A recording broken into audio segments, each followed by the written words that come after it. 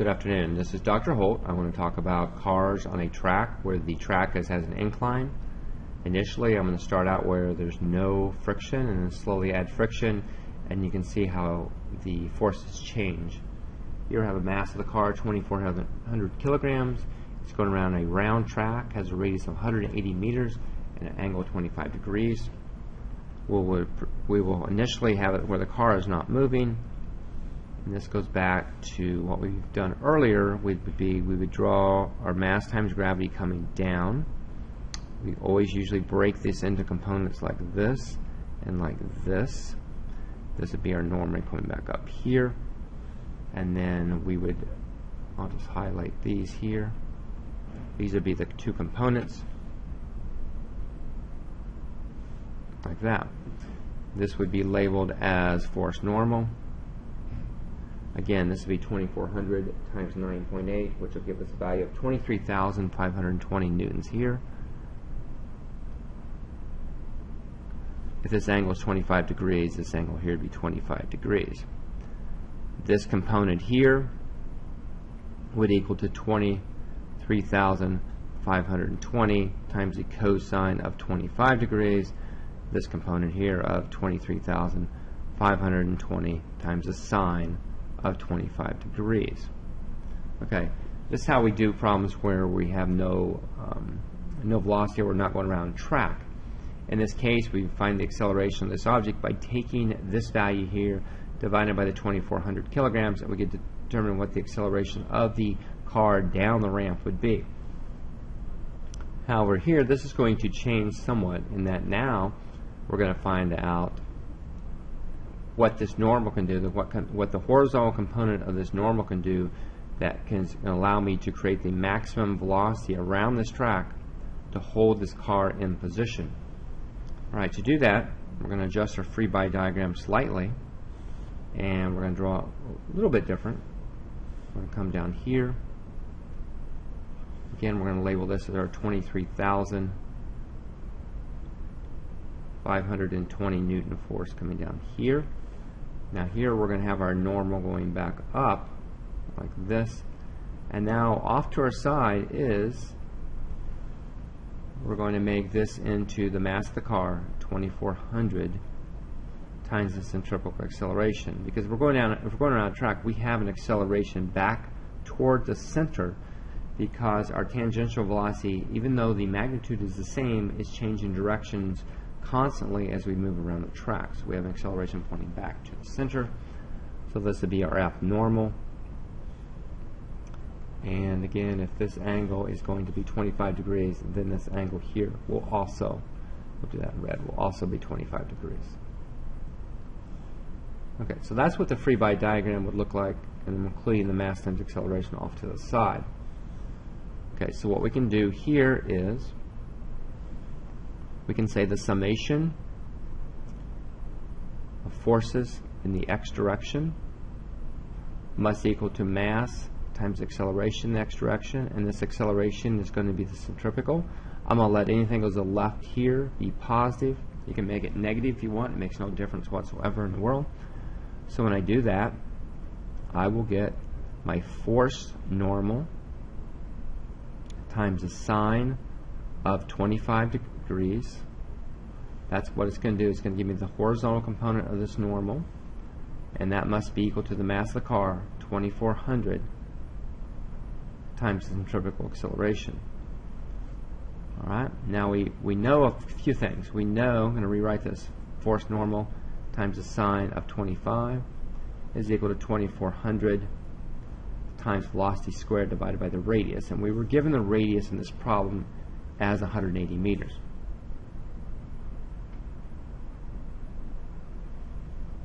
Alright, so now we have this equation. It's a good equation, but the problem is we have two unknowns. We will go back to our other equation. We can say the summation of forces in the y direction must equal to mass times acceleration in the y direction. But we know this car is not going to accelerate up or down in the track. So we will make the acceleration here go to 0, which means this whole thing is going to equal to 0. So now I do force normal This value here times the cosine of 25.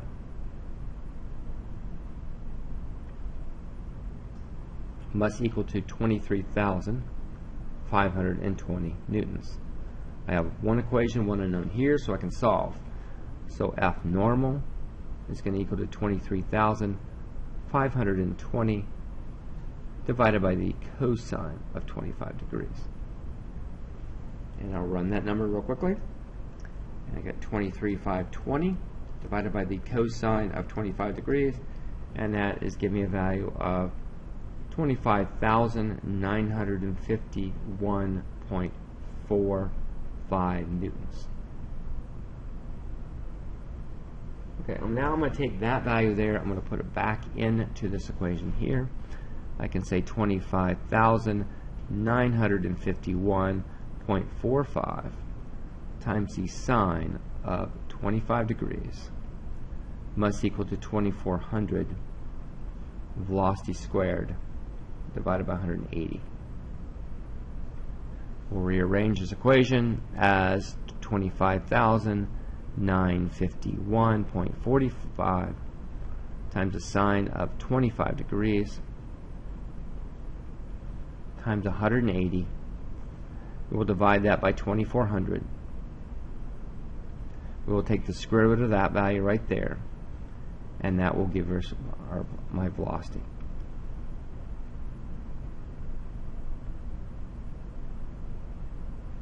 And I really shouldn't say max. I should just say that's that's a, that's a, that's the velocity you could go. Okay.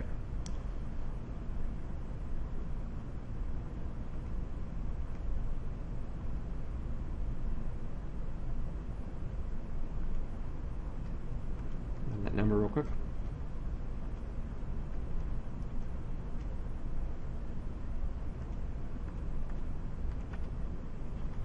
and that's going to give me about a velocity of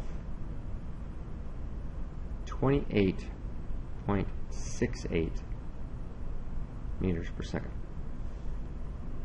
Okay, so now let's think about what would happen if you end up slowing down.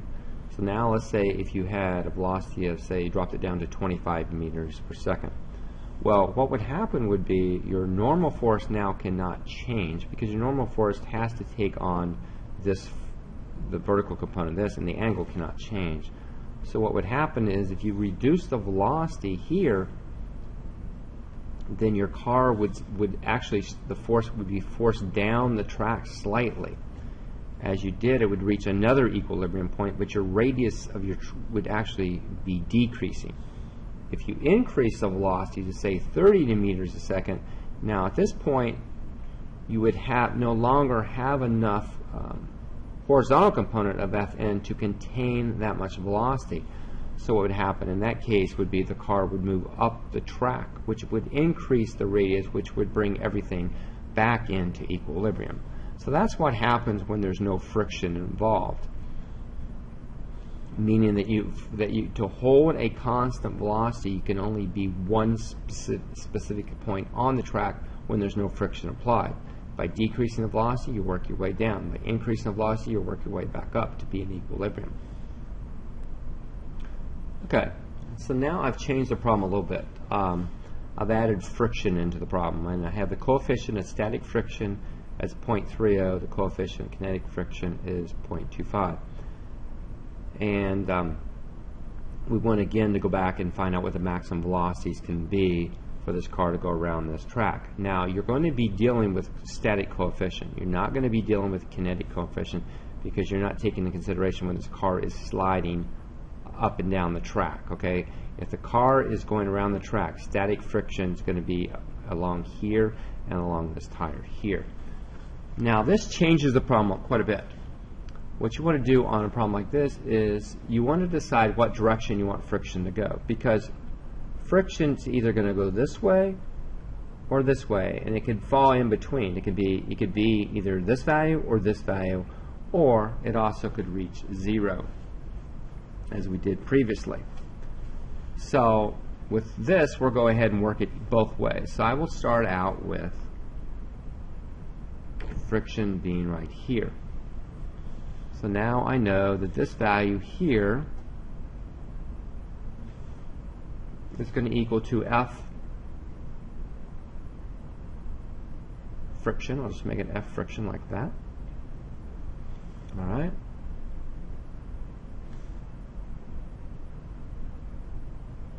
And again, if this is 25 degrees, this angle here will be 25 degrees.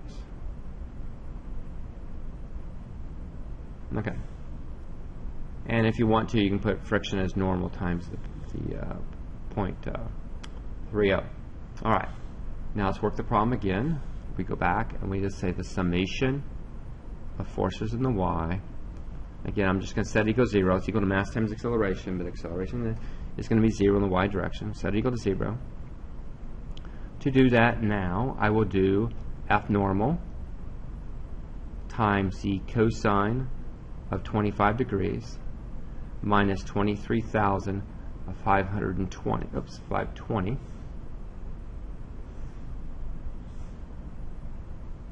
Now here you have to consider friction also because it has a vertical component minus friction and we'll just call that friction or SS or FS means static friction times the sine of 25 degrees is equal to 0. Now this is where I'm going to substitute back in as the normal times 0.3. Take this out and I'll put 0.30 times F normal. Alright, so I have this equation right here.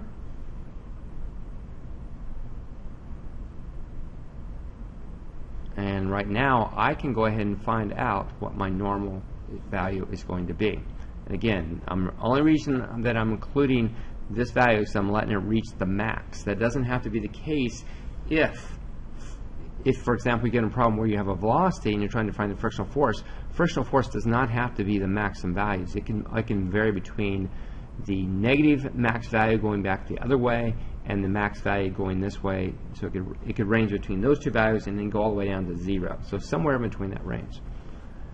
Okay, so I'll run the problem here. I will get F normal cosine of 25 minus 0.30 F normal sine 25 degrees is equal to 23,520.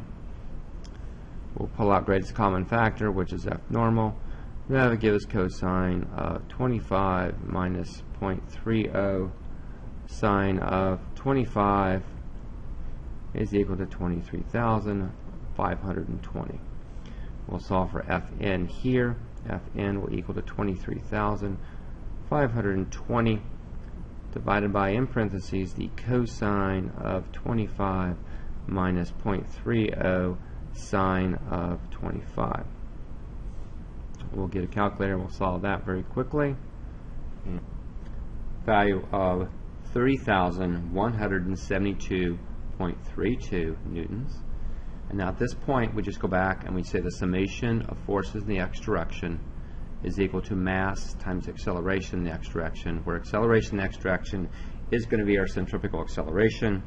We put this value in here, 30,172.32. Basically, I'm taking this value of my normal. I'm going to multiply it by the sine of 25 degrees.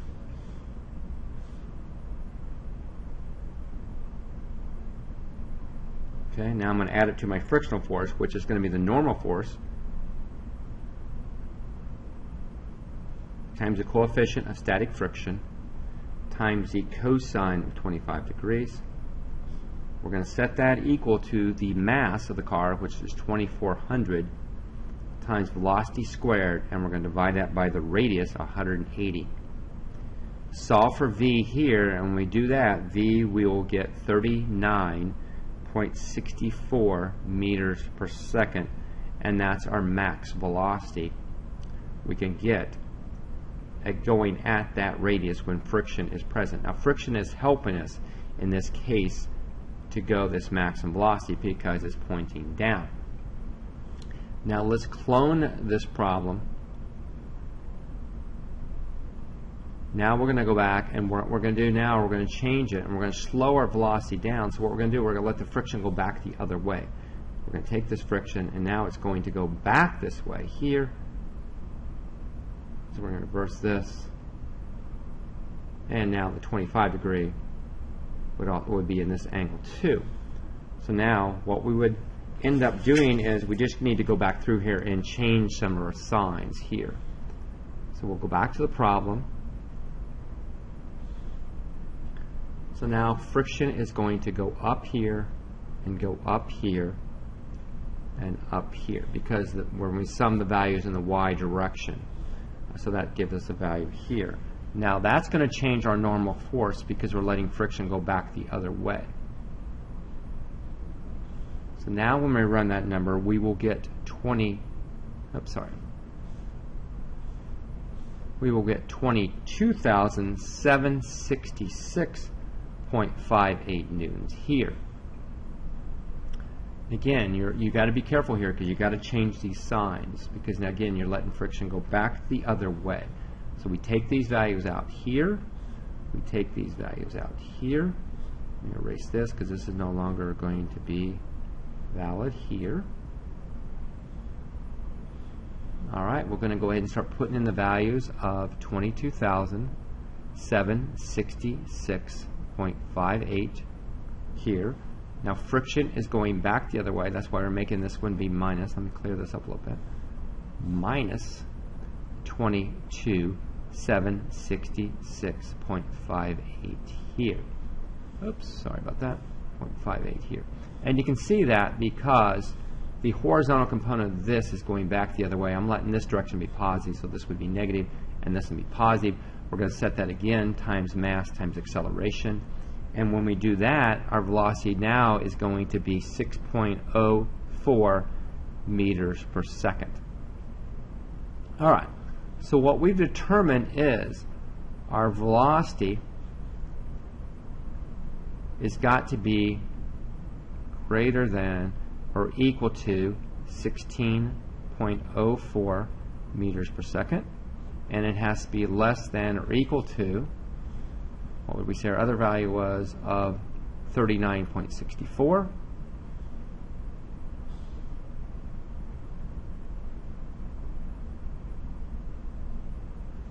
okay that's what our velocity range would be. I can go anywhere between those and, and travel down at, at that radius. Anywhere where these velocity I'm going to be fine. I'm not going to I can I can maintain that radius because because the frictional force is going to constantly change as I adjust my velocity. Now again if I want my frictional force to be zero we go back to the very beginning and all I have to do to do that is go 28.68 meters per second and I'll write that down on the problem here. So when velocity is equal to 28.68 meters per second, my static friction here would go to zero because everything would be in equilibrium. All right? So that's how you set up cars on a ramp. Um, again, you're going to get variation in the velocities because the frictional uh, static friction is not constant. All right? So again, good free body diagrams and it makes all the difference in the world. Best of luck.